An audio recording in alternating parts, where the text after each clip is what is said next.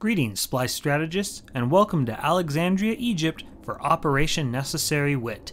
If you were expecting an Egyptian accent, well, get used to disappointment because I have no clue what an Egyptian accent actually sounds like. In other news, the Denver Broncos and Seattle Seahawks are going to the Super Bowl. I say this to all you non sports watching nerds so that you can fake your way through everyday conversation. Should you be tested on this knowledge, know that the Broncos are led by Peyton Manning and have scored more points than any other offense in NFL history. The Seahawks, in contrast, got to the Super Bowl behind the power of a tough as nails, kick your teeth in, and other sorts of aggressive sounding phrases defense. If you know nothing about actual football but need to blend in, you can say something like, it's the irresistible force versus the immovable object, to make it sound like you know what you're talking about. Why give you that helpful tip for casual conversation?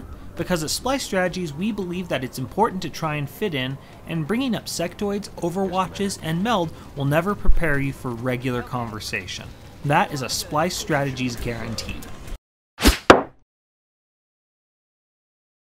In even more news, I never feel comfortable with the way guarantee is spelled. And there is actually a mission going on right now that I probably should be talking about.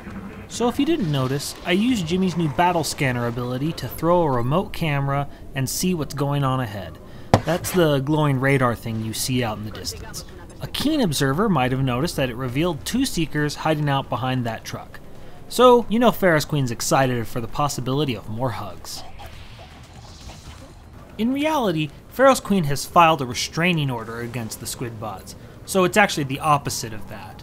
And Jimmy has appointed herself as the enforcer of said restraining order. And now you can see one of the awesome things about the squad sight with battle scanner combo. Jimmy can use the battle scanner to self spot her own squad sight shots. I file that combination in a folder labeled Awesome. Now, the behavior of the other Seeker here perplexes me. Normally after shooting one alien in a group, the others activate. I'm not sure if it's a bug, but the other Seeker doesn't seem to activate at all.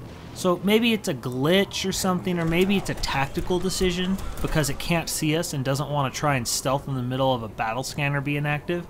Or heck, maybe it's just rebooting after a crash or something. Man, is it going to be really confused when it loads back up and its partner's gone. Regardless, it's just staying there, and we're okay with that. It gives us an opportunity to move Pharaoh's Queen up and capture the meld.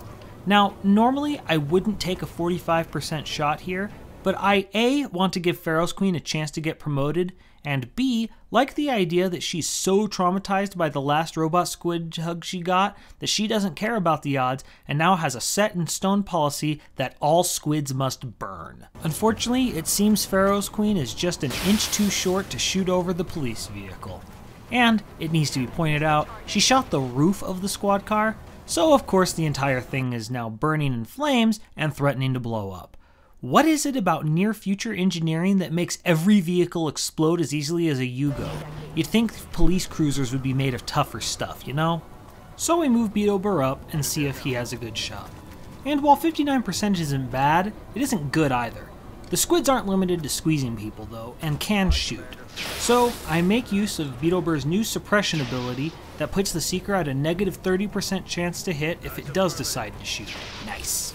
Everyone else goes into Overwatch, but we've now got more problems as two more X-rays show up. And while I'm pleased with the shot, it seems someone has replaced Gemini Spark's minigun with a freeze ray. Look, it's like Gemini killed the alien, then took it to a taxidermist to get it posed for his trophy room. Geez, and you thought getting a deer's head mounted on a wall was a tough sell to your wife.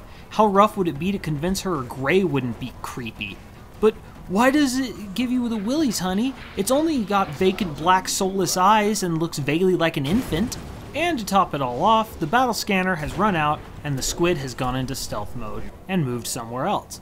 But, as I said before, Jimmy is going to enforce that Pharaoh's Queen Robo Squid restraining order, so she throws out her last battle scanner to reveal its location. And we see that it has cleverly moved to the other side of the van. But never tell Pharaoh's Queen the odds of a shot, because when it comes to her and Robo Squids, there's only one option. Kill them with fire! Everyone can now breathe easy, the squids are dead. Plus, Pharaoh's Queen got a kill, so she'll get a promotion. Huzzah! Now, the non-stuff sectoid has taken up pretty good cover, so we don't have a good shot.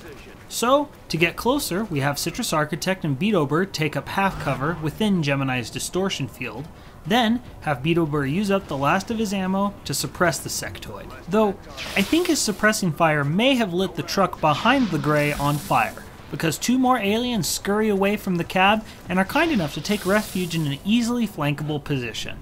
And the sectoid behind the cover is polite enough to do nothing. We return his politeness by not firing back, though we do move up, and take advantage of Beetleborg's smoke grenade to give us some cover, and have everyone else go into Overwatch. The sectoid finds the giant cyborg's gradual approach unsettling and decides to book it.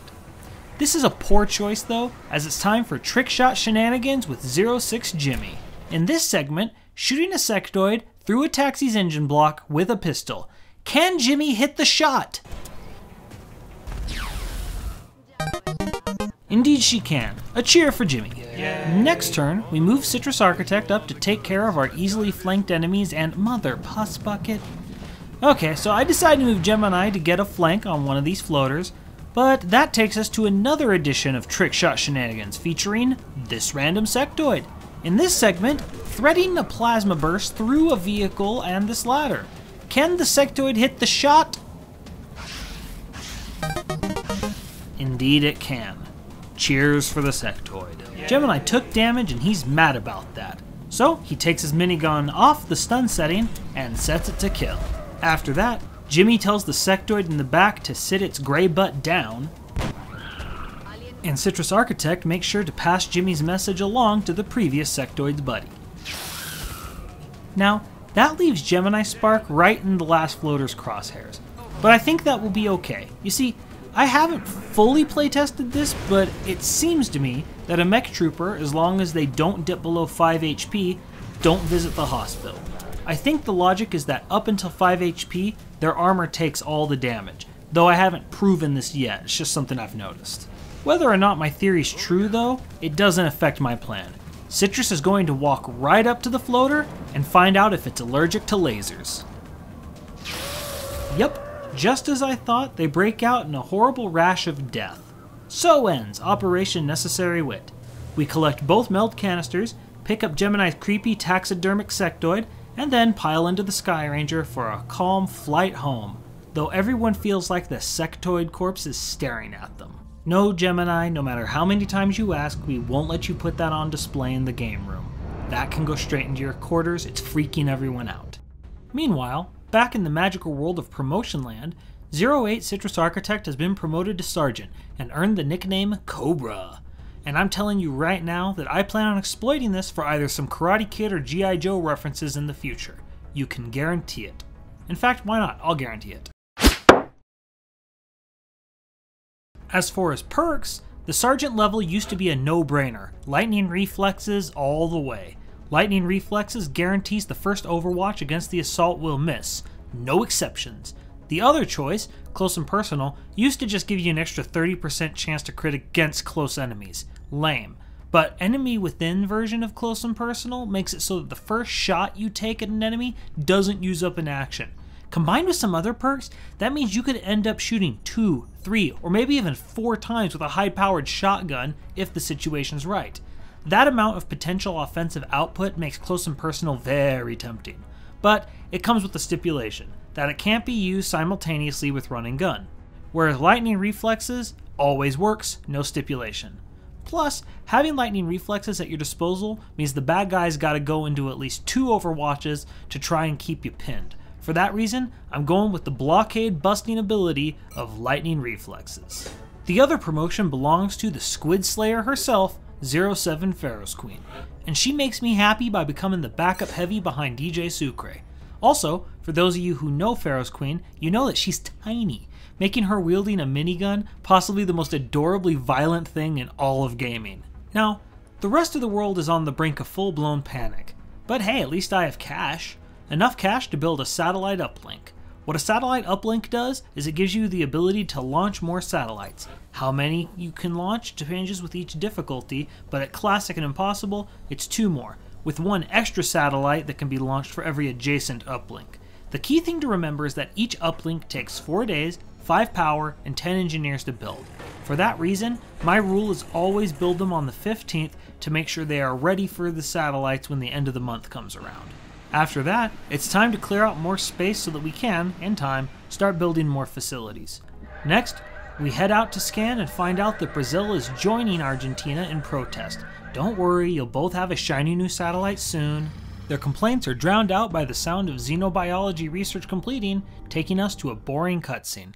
Allow me to summarize. You want to risk soldiers' lives to capture aliens? Yeah, I only care about science and telling others how to do their job. No way, Jose. Sir, consider this. We could torture the aliens for information. Torture for intel. You, you mean like Jack Bauer? Exactly like Jack Bauer. Ballin', let's get started. With that settled, it's time to decide on our next research project. It'll take 8 days to complete the arc thrower, which is the taser required to capture X rays, but it'll be 9 days before we can even clear out the space needed to build the Xeno containment unit. On top of that, it's going to be another 7 days in actual construction. Seems to me that it's silly to start research on a tool that won't be useful for another 2 weeks or so. So I'm going to go with the usual question of what can kill me next. Well, what can kill me next is a medium sized UFO. Don't get me wrong, my fighters are equipped with a Phoenix cannon, but that just means I might beat a medium sized UFO. In order to assure victory, I need something else. Floater Autopsy would grant me a module that will guarantee two UFO shots will miss my fighter. Because you have to get in close to use the Phoenix cannon, that'd be useful. So I start the floater autopsy and pray to the random number generator that we don't run into a medium sized UFO. You stinking poozer! That's it, random number generator. I ain't never converting to incidental numeral creationism after that stunt. okay, so before we deal with this UFO, you may have noticed my excavation's completed. So I'm going to go back to engineering to do the last of this level of excavation. With that complete, we just need to trust that our Phoenix cannon will be enough to slag this UFO.